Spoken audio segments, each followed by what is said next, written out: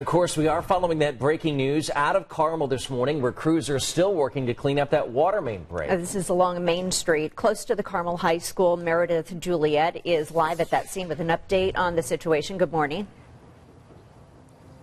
Hey, good morning, guys. And I'm happy to bring some good news, I guess, so far on our Monday morning. Crews actually leaving right now. They are patching things up. I want to show you just how close we are to Carmel High School. Here's the front entrance right behind me here. And if we pan over, this is right where the last truck literally just pulling away as they've kind of come to a stopping point with this water main break, which is a good news because rush hour traffic and that school traffic about to get going here on our Monday morning. Now, they've had parts of the road shut down here in Main Street, but now they are wrapping up for the time being because of of the school traffic. Crews here tell us this isn't fixed yet, but they have patched things for now to get ready for that morning commute. They'll finish up work on repairing this break when it's more convenient for drivers. They did not give us a time, but they said obviously rush hour and school traffic is not a good time to be trying to make these repairs right here on Main Street. Now, Carmel students actually returning this morning from fall break. We're happy to report that school hopefully will resume as normal, and Mimi, hopefully traffic will resume as normal as well.